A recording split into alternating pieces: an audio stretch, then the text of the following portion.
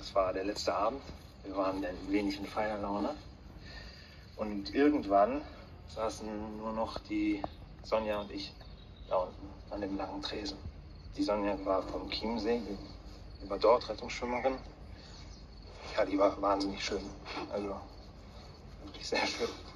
Und wir hatten einiges getrunken und ähm, es war auch ein Flirt irgendwo. Also auch von mir. Eigentlich dachte ich, komm, das geht nicht. Das, das geht nicht. Zu Hause Frau, ich habe ein Kind. Ist gerade fünf Monate alt und ich mache hier rum mit dieser bayerischen Schönheit. Aber dann lachte die Sonja und ich war, ja, völlig hingerissen.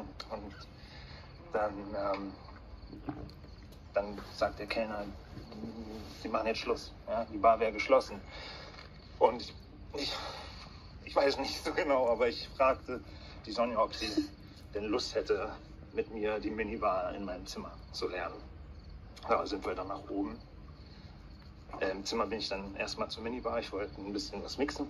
Und ich sehe aber aus dem Augenwinkel, sehe ich, wie sich die Sonja die Schuhe ausgezogen hat und sich aufs Bett legte. Schaut mich an. Ihre nackten Füße. Wirklich wahnsinnig schöne Füße. Ich dachte, wenn ich jetzt darüber gehe und mit ihr schlafe, dann ist alles vorbei. Meine Ehe, meine Familie, alles. Und ich wollte auch gerade sagen, komm Sonja, wir, wir trinken jetzt noch einen und dann, dann geht jeder in sein Zimmer. Hm? Das wäre mir auch scheißegal gewesen. Hätte sie mich für einen Schlappschwanz gehalten. Das ist scheißegal. In dem Moment klopft es an der Tür. Äh, laut und energisch klopft es an der Tür an. Ich war mir sicher, dass da meine Frau steht, das Kind auf dem Arm. Und ich, habe mich sozusagen in mein Schicksal gefügt und mache die Tür auf. Da, da, steht, da steht ein kleinwüchsiger Araber mit so einem Schnurrbart und der hält was im Arm, eine Art Rolle. Ja. Dein Teppich.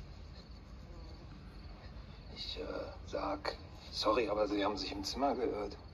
Und der ganz bestimmt, ist dein Teppich. Und hält den mir hin, diesen zusammengerollten Teppich. Und ich wieder, äh, aber falsches Zimmer. Und ich schließe die Tür. Ich drehe mich um. Und da liegt noch immer die Sonja. Aber jetzt ist alles weg. Der ganze Zauber, die ganze Lust ist weg. Und ich will gerade zu Sonja sagen, ähm, dass sie bitte gehen soll. Ja? Dann klopft das aber wieder an der Tür. Ich mache auf, steht wieder der Typ da mit seinem Teppich. Schreit mich jetzt an. Schreit, das ist mein, dein Teppich. Dein Teppich. Ja. Ich bin jetzt auch schon ein bisschen sauer auf den, auf den Araber mit seinem scheiß Teppich. Ja. Aber auch auf mich. Auch auf mich. Der hier fast Ehebruch begangen hätte bei der erstbesten Gelegenheit. Ja. Und ich schrei zurück, dass er sich verpissen soll mit seinem scheiß Teppich.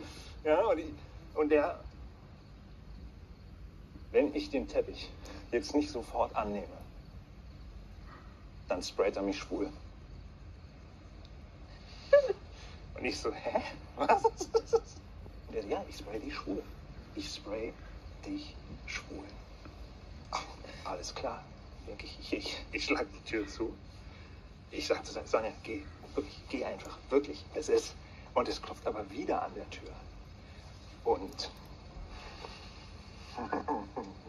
ich bin kein Schläger, aber ich, ich reiß die Tür auf und ich will ihm so in die Fresse schlagen, ja? Und dann steht der da und der hat so eine Dose in der Hand und sprayt mich von oben bis unten voll.